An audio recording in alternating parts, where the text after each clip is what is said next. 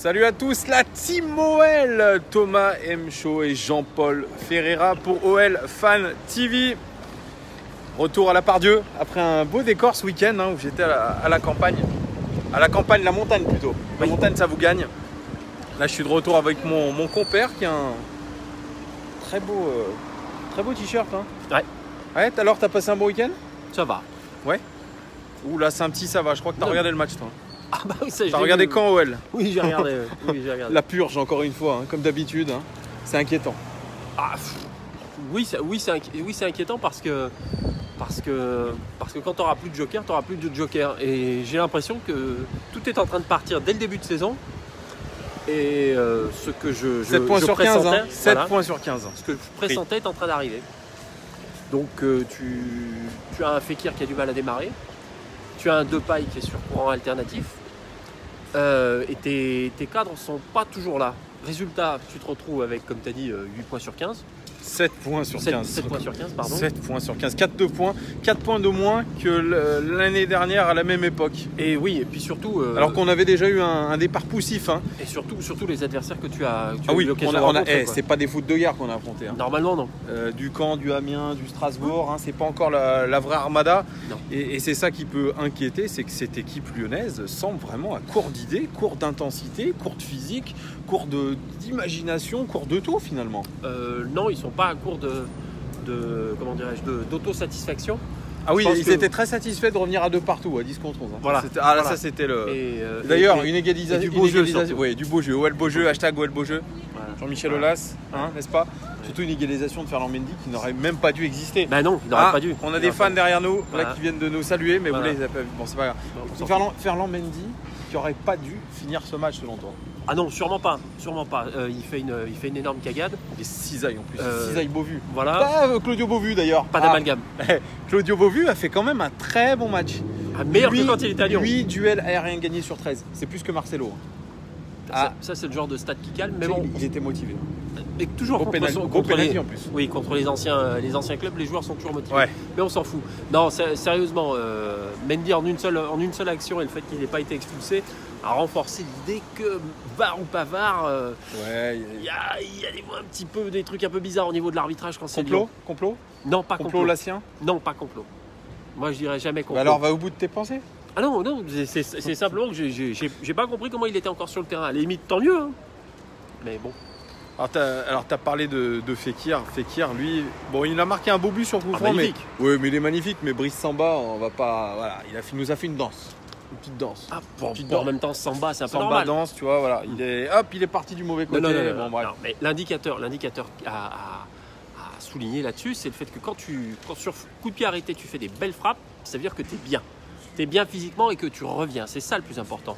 Après, euh, sur, le, sur le reste, Moi- le moi, déroulé du match est Je vais catastrophique. dire, j'ai j'ai pas été sur le Catastrophique. terrain, mais j'ai pas vu un, un Nabil Fekir peut-être un rangueur de, de partenaire. C'est lui Mais le chef sur le terrain. C'est lui le chef sur le non, terrain. oui, le leader technique, mais Le- c'est pas, c'est C'est pas. le- non, non, non, c'est ça, pas doit, ça doit être, non, ça doit être le leader sur le terrain. En tout cas, il y a plusieurs cadres. Toi, tu parlais de cadres tout Oui. à l'heure. On parle de Marcelo. Marcelo, c'est le cadre de, de derrière. euh, voilà. Lucas Touzard, apparemment, voulait être aussi dans la hiérarchie du Capitana bien placé. On a l'impression que tous ces cadres-là, tous ces soi-disant aboyeurs, ceux qui doivent remettre les autres dans le bon chemin, euh, ils font pas trop leur taf. Mais en même temps, ils l'ont jamais fait. Ah bah, Euh, là, on- là, c'est on- inquiétant. on- on- bah oui, c'est inquiétant. mais Ouais, je- d'où, alors d'où, d'où le tweet de Jean-Michel Aulas, un tweet euh, incendiaire Et retiré. euh, et retiré, euh, où il parlait euh, d'un état d'esprit plutôt passable ou plutôt inquiétant. Il parlait de, d'erreurs individuelles, de, de gros déchets techniques. Et il met surtout la pression sur Nabil Fekir en disant que c'est à Nabil Fekir de remotiver tout le monde. Pas de Genesio, Nabil Fekir. Donc est-ce qu'il pointe du doigt le fait que Nabil Fekir ne joue pas son rôle depuis le début de la saison? Lui qui a commencé tard, tu le faisais remarquer. Oui, bah. il- il- Encore, encore une fois, euh, il faut, faut pas, faut pas se tromper, euh, faut pas se tromper de, de- de cible, ou alors euh, si, quand tu veux faire des contre-feux, et pour calmer peut-être un petit peu le, la, la grogne vis-à-vis de. S'il l'a Pep. retiré, c'est qu'il avait. C'était plus ou moins la vérité quand même. Mais- Quand on retire des choses qui sont vraies. Encore une fois, moi je te dis, Fekir, c'est pas ça que je, c'est pas ça que je lui demande. Et, et encore une fois, tu, tu vas, tu vas pas lui forcer, euh, lui forcer la main et lui faire enfiler un costard dont il ne, dont il ne, veut pas et qui revendique rien. À l'inverse, à l'inverse, euh, à l'inverse des, joueurs qui eux type euh, Lucas Touzard qui, qui revendiquait le- lui le brassard. Oui, il revendiquait le capitana. euh, bon, Lucas Touzard. Bon, moi je trouve que Lucas Touzard est bien dans son rôle. Je l'ai dit dans, dans mon débrief. J'ai trouvé qu'il avait fait un match correct et il a essayé de jouer dans un autre registre. Donc de jouer long, essayer de trouver des, des ouvertures verticales. Ça, on n'avait pas connu ce Lucas Touzard là. Et euh, je pense qu'il va être précieux dans, dans le prochain match face à City parce que le prochain match, c'est la Ligue des Champions face à la meilleure équipe d'Europe. Euh, en ce Le moment. maître va rencontrer l'élève. Voilà, le maître va rencontrer le Pepico, Pep Guardiola contre Pep Genesio. Et euh, en tout cas, euh, Manchester City a très bien préparé le match contre Lyon. Ils ont gagné Eux. 3 à 0. Ils ont gagné 3-0 contre Fulham. Fulham, c'est pas non plus le cadre de première ligue. Mais ils ont tiré 28 fois au but. Ils ont marqué 3 buts.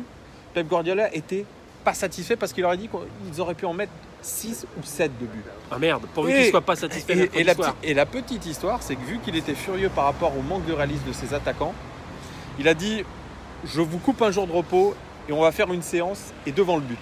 C'est-à-dire qu'il il prend au sérieux le match contre Lyon, c'est-à-dire que s'ils ils peuvent mettre 4, 5, 6 buts face à Lyon, ils le feront. Et ils vont tout faire pour. Ouais, en même temps, on découvre, on découvre rien. Euh, il l'a toujours fait dans, de- dans les, dans les équipes qu'il a, qu'il a entraînées. Pourquoi, pourquoi il ferait exception en sachant qu'il démarre, il démarre dans la compète, il démarre à domicile et qu'il faut qu'il rentre du bon pied. Donc, euh, quelle que soit l'équipe qui va se présenter, il faut qu'elle en prenne plein sa gueule. Manque de bol, c'est Lyon. Alors tu te sens comment ce match euh, Après avoir vu le, le début de saison poussif, après avoir vu ce, ce match contre Caen qui était Kata J'ai- j'ai- je l'avais dit en fin de saison dernière, il y a quelques mois, que je pensais que, la campagne européenne serait catastrophique pour Lyon, avant même le tirage au sort, dans le sens où ils avaient conservé Genesio, Ouais. ils La conservent saison de trop. hein. peut-être, euh, ils conservaient leurs mercenaires avec les inconvénients et les avantages que ça peut avoir. La- L'avantage, c'est qu'il faut qu'il brille, euh, notre ami Memphis, et il peut briller. Donc s'il veut briller, Il c'est sera maintenant. titulaire, je pense. hein, euh, Bah, c'est même certain. Ouais, alors, euh, S'il n'est pas titulaire, c'est qu'il a une bronchite. Il sera titulaire. Et alors, on ne connaît pas encore le système, Alors système ça, de jeu. C'est ça, on peut, on peut pas savoir. non, non, non, mais Euh, le meilleur système, moi je l'ai dit dans ma vidéo, euh, Liverpool qui avait gagné contre, euh, contre City l'année dernière avait utilisé un 4-3-3. Donc le même système utilisé que contre Caen. Par contre, il va falloir changer des joueurs. Awar à gauche, c'est plus possible. non, ça c'est c'est sûr. plus possible, Moi, j'ai pas arrêter. tout compris. Non, voilà, il peut jouer dans un double pivot ou dans l'axe, mais absolument pas comme ailier gauche. Alors, est-ce que ça veut dire que Nabil Fekir va être décalé sur le côté gauche? Et qu'on a une attaque avec, euh, par exemple, allez, je dirais Nabil Fekir à gauche, en pointe Moussa Dembélé et à droite De paille. de paille. Parce que Bertrand Traoré, c'est plus possible non plus. T'en penses quoi? C'est c'est ce qui peut être possible? C'est c'est possible. euh, Ce qui va si- trancher dans le vif, Genesio. hein. C'est Oui, sûr oui. et certain. Oui, oui, non, Après un match comme ça, il va, il va faire un il va, il va- électrochoc. il va forcément Ah pas oui. réaligner la même Ah équipe parce que c'est aussi ça Ah qu'on regardait au niveau des compos. Parce que cette équipe-là contre Caen, elle aurait cartonné, Ouais. le problème se, se poserait pas. Ouais. Là, il se pose. Euh, Memphis à droite, ouais, ouais. Sachant que c'est un joueur d'axe, mais il- pour le bien de l'équipe en tout cas, et puis pour l'arrivée de Moussa Dembélé, parce que Moussa Dembélé, bon, il a fait un match, il a fait le match qu'il a fait. Il n'est pas encore intégré complètement dans cette équipe. Il faut qu'il corrige beaucoup de choses encore. Mais voilà, on va aligner toutes les forces en présence quand même. Ouais, le problème c'est c'est pas tellement qu'elles soient en présence, c'est plutôt les, les- les forces. Alors euh, on, va voir, on va voir vraiment si- s'il va y avoir un déclic, un déclic suffisant pour, euh, pour que les, les- les joueurs et ceux qui sont le plus concernés et ceux qui aiment briller encore une fois, Ouais. sont, sont- est-ce qu'ils seront là? S'ils sont pas là, ce sera emmerdant, c'est-à-dire au niveau de l'envie. Euh, est-ce que ce sera suffisant? Je suis pas sûr. Moi, pour moi, je crois que l'Olympique lyonnais va faire un gros match. Euh, dès qu'ils sont attendus au tournant, notamment en Ligue des Champions, sur les gros matchs, ils sont là. Bon, après, moi, ce qui m'inquiète le plus, c'est est-ce qu'ils vont retrouver euh, la capacité à jouer ensemble? L'envie, la motivation, ils l'auront, mais est-ce qu'ils vont être capables de jouer ensemble et surtout d'être concentrés sur tout le match? Parce qu'il faudrait être très concentré Ouais. face à des attaquants hyper rapides. hein. On, a, on a les mêmes euh, au Paris Saint-Germain avec du Neymar et du Mbappé. Euh, voilà, mais moi, je les sens capables quand même de sortir un gros match Ouais. et de gagner à City.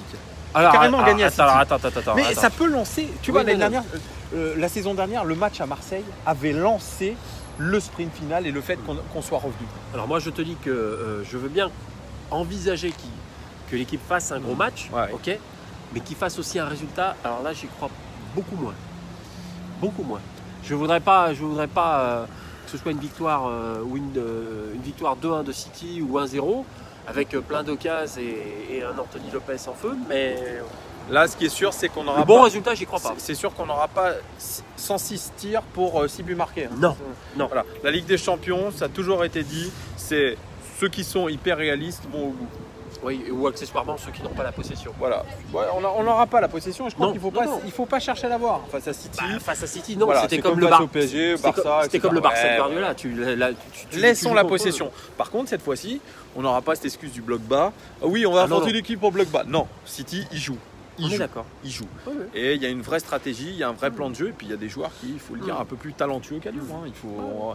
Mais euh, City est encore en phase de rodage, et il est possible de faire quelque chose. Nous ne sommes pas en pleine possession de nos moyens, mais voilà, il faut y croire. On est supporter de l'OL, on a envie d'y croire, on a envie de Ah, rêver, on a envie que ça soit Ouais, un je, grand croyais soir aussi, d'Europe. je, je croyais aussi à une, une victoire de l'OL à Caen aussi. Même une victoire de. Ouais, quand tu te dis qu'on n'arrive pas à gagner contre Caen, et non mais moi ce qui m'a fait halluciner, c'est Casimir, Casimir Ninga, l'ancien joueur de Montpellier, Oui. il a mis un sprint à Marcelo Oui, sur il 100 l'a mètres. Oui, il l'a un peu enrhumé, oui. Mais moi j'ai vu un Marcelo qui a pas couru jusqu'au bout, qui, a relâché son effort. Donc ça c'est ça l'état d'esprit. Est-ce qu'il va faire la même chose face à Leroy Sané Alors, Quand Sané va lui déborder, est-ce qu'il va faire, il va faire quoi alors, on va faire référence à. Je me, désolé, je Oui, je- désolé, je, je pars un peu dans tous les sens, mais c'est ce qui me vient à Je fais l'esprit. référence à un de nos, nos suiveurs qui, dit, qui disait que peut-être, c'est toujours la bonne excuse, est-ce qu'ils avaient déjà la tête à City Le genre d'excuse bateau, etc. Ouais, il y en a un qui, di- qui disait dans les commentaires que euh, Ndombele avait la tête à City parce qu'il n'a pas été bon. c'est ça, ouais. Voilà, c'est ça que je. Ouais. J'en sais rien, hein, j'en sais rien parce que quand on est Bon, bah, c'est bon, professionnel, alors, donc il va euh, cartonner, et- et- alors, Par contre, City, ils ont vraiment la tête à Lyon. hein. Oui, mais ils ont raison. Je te dis encore une fois, ils, dé- ils démarrent, euh, ils démarrent, ils démarrent leur, leur compète à domicile. Il faut qu'ils fassent un, un résultat parce que c'est City et que eux, ils ont l'ambition d'aller au bout. Et moi, je pense que c'est un des favoris. Donc il faut, faut, faut, faut tout de suite, faut tout de suite. Toi, t'es pas, t'es pas convaincu. Ah ouais, bon, bah, on en reparlera. On en reparlera, les gones. Voilà, donc euh, petit, petit pronostic quand même pour, euh, pour toi, Jean-Paul. Défaite de l'OL. Défaite de l'OL. euh, Moi, j'avais juste, hein, j'ai dit match nul. J'ai dit un partout contre Caen, mais. Ah bah donc t'avais pas juste. Oui, mais j'ai dit match nul. Ah oui, mais non, tu, Bon. me tu veux un score. Alors Bon, moi, je te dis score. défaite de l'OL. Je pense que, je sais pas, ils vont aller euh, 3-1. Ah oui, donc il y a un but de l'OL.